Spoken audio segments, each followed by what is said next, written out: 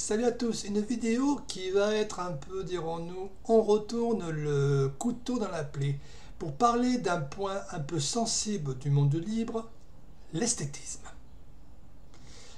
Cette vidéo m'a inspiré suite aux commentaires que j'ai eus sur une vidéo complètement bateau concernant le projet Tuxenvap dont vous savez je fais partie. C'était sur ça, c'était sur l'arrivée de fond d'écran plus esthétique. Bref, quand on voit les résultats, 21 euh, pouces vers le haut, 19 vers le bas, alors que je ne parlais que de putain de fond d'écran, il y a peut-être un problème quelque part. Bref. Bien sûr, les habituels, les fonds d'écran sont manches et compagnie, mais c'est-à-dire que RD a fait une remarque qui est assez intéressante. Salut, bof, ces fonds d'écran font. Franchement, cela fait table de débutant, on regarde ce que vous mettez en œuvre pour vos ISO, mais il faut respecter le table de la personne. C'est peut-être le commentaire qui a été parmi les plus intelligents que j'ai sur cette vidéo. Vous l'aurez dans le descriptif. Mais ce genre de discussion sans fin, ça m'a fait penser à une expression française, enfin de langue française, qui parle, qu'on dit, discuter du sexe des anges. Et grâce à l'internaute, j'ai retrouvé l'origine de cette expression. En clair, c'est débattre sur des questions futiles en occultant un problème plus important. Un autre style de discussion du sexe des anges, c'est le débat sans fin sur le système d'init appliqué. Si vous n'avez pas de logiciel au-dessus, ça sert à quoi d'avoir un système d'init? Bref. L'origine.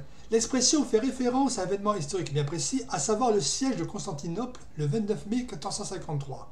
Alors que les forces turques, plutôt ottomanes doit-on dire, s'apprêtaient à entrer dans la ville, les religieux byzantins étaient plus occupés à discuter de la question théologique du sexe des échanges, facilitant la prise de Constantinople. Voilà. En clair, au lieu de savoir comment repousser l'ennemi ottoman, il s'est tapé sur la gueule à savoir quel était le sexe des anges. Donc, je vais partir de, de certaines distributions. Je vais vous montrer que, en grattant un tout petit peu, on peut se dire que l'esthétisme, il y a beaucoup de progrès à faire dans le monde du livre. Voilà. Donc, voici. Donc là, j'ai pris une Manjaro Deepin Tuxenvap, entièrement à jour. Et là, avec la charte d'origine, la charte graphique d'origine, parce que la charte graphique, c'est aussi bien un fond d'écran, que des icônes, que des polices, bref, tout ça.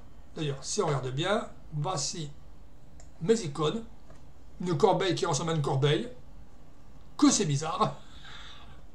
Bref, certaines personnes diront que ça fait vieillot, patati patata, je les empoète. Voilà. Donc, je vais vous montrer le cœur du sujet. Voilà, donc ça. Voilà, donc ça c'est le grub que j'ai installé sur Tuxenbap. Et voilà, donc c'est ça.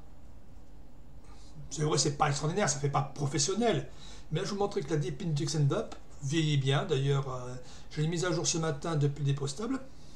Voilà, donc ça. Voilà, donc ça, on va se connecter.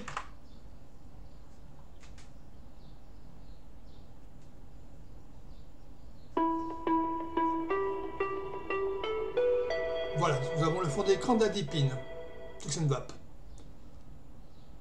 Voilà. Tout. Mais un fond d'écran, ça se change en quelques secondes. Voilà, c'est Adipine Tuxenvap. Je vous prouve qu'elle est bien entièrement à jour. Je vais lancer pas Mac. Voilà, ajouter, supprimer de logiciel. Et si je fais euh, la recherche de mise à jour, le système est à jour.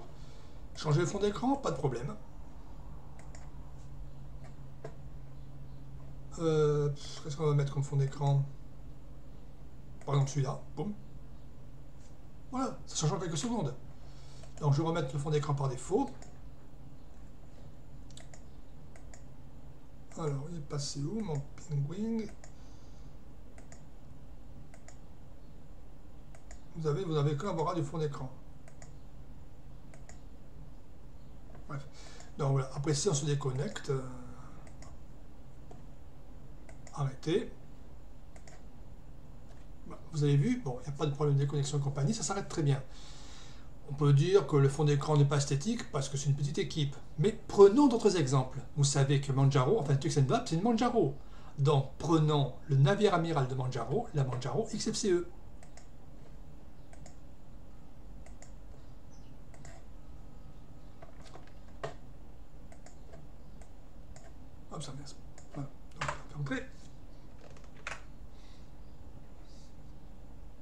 Bien sûr, j'ai mis toutes les euh, distributions que je vais vous montrer à jour entièrement. Et vous allez voir que même pour une distribution qui se veut un peu plus professionnelle, l'esthétisme dépend de l'œil de la personne qui observe. Voilà.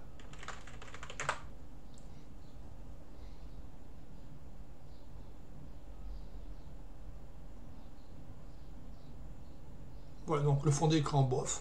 La corbeille, pourquoi pas même si on aime les icônes bicolores. Euh, l'éclair, dirons-nous que si on en rajoute un à côté, ça fait penser à un logo de triste mémoire. Bref. Le jeu d'icône est sympa, mais sans être euh, mortel. Et là, vraiment, euh, vous trouvez que ça fait professionnel, ça? Ouais. Bof. Pourquoi pas? C'est pas moche, mais... ça fait pas rechercher. Pas vraiment. Moi, je m'excuse. Euh.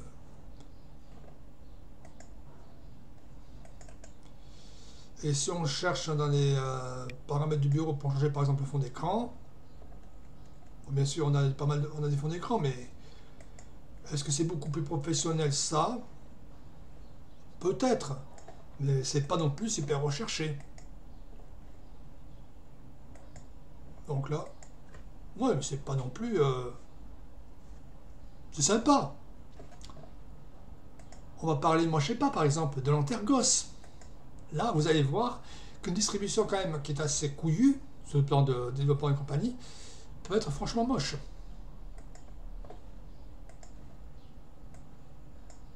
Déjà, le thème groupe graphique. Est-ce que ça fait professionnel? Ouais. Mais c'est pas le truc qu'on regarde le plus souvent, le grub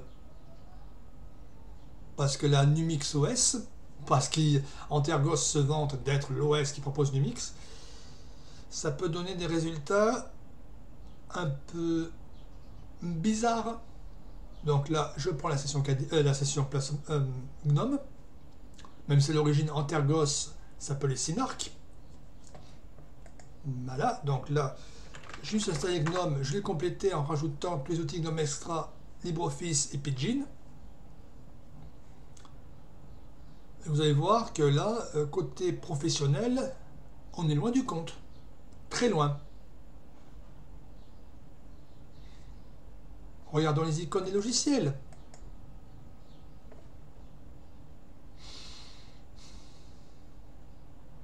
Moins. Bof. Mais quand on voit la gueule de l'icône de Pidgin, moi je m'excuse, ça fait penser à un pigeon qui aurait bouffé du pain piégé au LSD. Bref. Donc si on par exemple on lance LibreOffice, bon bien sûr là c'est vraiment mais des icônes très simplifiées, c'est limite niveau maternel supérieur. Enfin grande section de maternelle. Et encore je connais un gosse qui est en grande section de maternelle qui pourrait dessiner mieux que ça. Donc là on va faire un fichier quitter.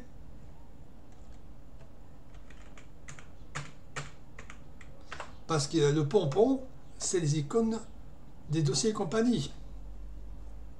Est-ce que vous trouvez ça professionnel?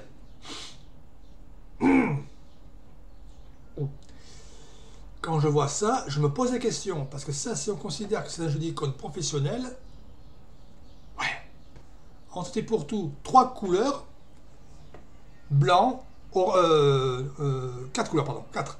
Rouge, orange foncé, orange clair, blanc et une espèce de marron. Quatre couleurs pour des icônes.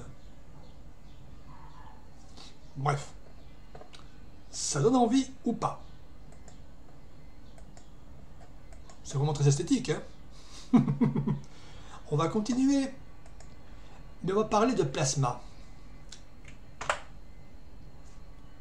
Là, c'est une, installation pure et dure de plasma que j'ai faite. Mais c'est pas ça que je voulais faire. Voilà sur une base ARC.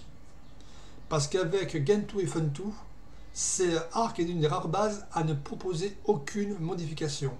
Gentoo et Funtoo, vous me confirmerez, parce que je n'avais pas le courage de laisser compiler pendant 5 heures pour avoir la confirmation au niveau du thème de Con et compagnie.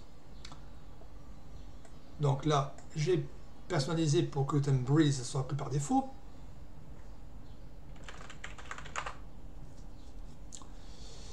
Et là, on s'aperçoit que même un projet qui a plus de 20 ans, dont la version 5 est sortie depuis plus de 4 ans maintenant, juillet 2014, si mes souvenirs sont bons pour la version 5.0 de Plasma, là c'est à 5.13.3, je crois me souvenir. Bon, le fond d'écran, pourquoi pas. Mais par contre, ce qui me fait bondir, c'est les icônes des avatars. Est-ce que vous trouvez que l'icône de l'avatar c'est professionnel? Oups. Bref, donc là, ça me crée Info Center. Je crois que c'est un K2 5.313. 5.13.3, voilà. K2 Framework 148, donc vous voyez, c'est quand même une version récente. Au moment où j'enregistre la vidéo. Quant aux icônes, euh, pourquoi pas? Ça peut encore aller c'est bon, c'est pas trop moche. Mais par contre, euh, l'icône de la corbeille qu'on ne voit pas ici, c'est simplement ce dossier avec un dessin de corbeille. Moi je m'excuse, ça colle pas franchement. Et si on regarde dans les avatars, euh, on est vraiment, euh, dirons-nous qu'il y a quelques petits problèmes de graphique. utilisateur, je crois me souvenir. La détail du compte.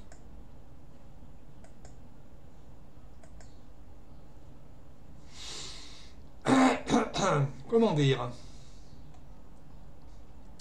Est-ce que vous trouvez que ça fait professionnel?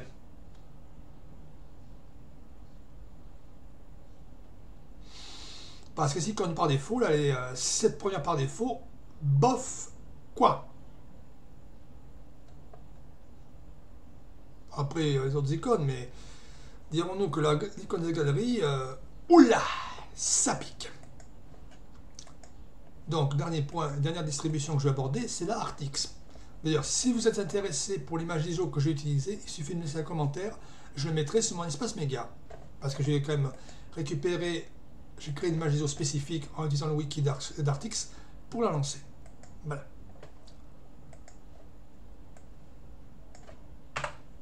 Vous savez, Artix, c'est l'Arch Linux OpenRC. Et là, c'est une image ISO du 22 juillet. Et comme j'enregistre cette vidéo le 22 juillet, ça colle bien. Et vous allez voir, déjà rien que le fond d'écran. Après que ce soit connecté, bien sûr. Un fond d'écran, ça se change, vous êtes d'accord avec moi. Hein. Mais quand vous allez voir ce fond d'écran, moi désolé, ce genre de truc, ça me fait penser à un papier peint que j'avais quand j'étais tout gosse dans les années 70, qui foutait des cauchemars. Parce qu'il était euh, vert, euh, des, gros, des espèces d'ellipses vertes, bien j'avais des ellipses jaunes sur un fond cacadois. Euh. Et comme ça utilise le thème d'icône brise, je vous le prouve tout de suite, apparence, thème d'icône, c'est brise. Donc vous allez voir l'icône par défaut de brise de la corbeille. C'est ça la corbeille. Donc je ne sais pas si je vais pouvoir le mettre en plus gros. Euh, outils, des préférences. Affichage, taille des icônes. On va mettre 96 par 96 peut-être. Ok. Non, ça soit pas beaucoup mieux. Mais vous voyez déjà, vous voyez, l'icône de la corbeille, c'est le dossier à la corbeille dessus. Vous pensez que c'est esthétique? Moi, bof quoi. Une corbeille, pour moi, c'est ça. C'est ça une corbeille. Ça ressemble à une corbeille. C'est tout. Non. Il est facile de critiquer un projet parce qu'il n'a peu ou pas de ressources et qu'il a envie de garder un certain côté amateur au sens noble du terme. C'est facile de critiquer. Mais quand on arrive à critiquer des fonds d'écran, on est vraiment dans le domaine de la discussion du sexe des anges, c'est tout quoi. Parce que je m'excuse, euh, en quoi ceci est esthétique? Et si on cherche les autres fonds d'écran, euh, Il n'y a que celui-là par défaut apparemment. Cool. Voilà, donc vous voyez, euh, ouf, c'est pas la joie. Et comme je vous disais, j'utilise une, euh, image des eaux générée aujourd'hui même. Voilà, si vous êtes intéressé, laissez-moi un lien dans un commentaire dans le descriptif et je vous donnerai le lien méga vers l'image des eaux en question. Voilà. Donc j'ai pas grand chose à rajouter. Donc vous avez vu quand même, j'ai cité quelques projets, j'ai gratté un tout petit peu, mais l'esthétique n'est pas franchement le fort du monde libre. J'aurais pu aller jusqu'à prendre la célébrissime Maculu Linux, qui est une clownerie monstrueuse, et je garde le C, le, L et le W par simple politesse, parce que quand on voit le thème d'icône de la Maculu Linux, on se pose des questions. Donc, comme je disais, c'est facile de critiquer sur le thème graphique et compagnie. Pourquoi pas? Mais comme disait Feu mon grand-père, ce sera la conclusion, tous les goûts sont la nature, la bip est bonne pour tous. Sur ce, je vous laisse, je vous dis salut à tous et à la prochaine, ciao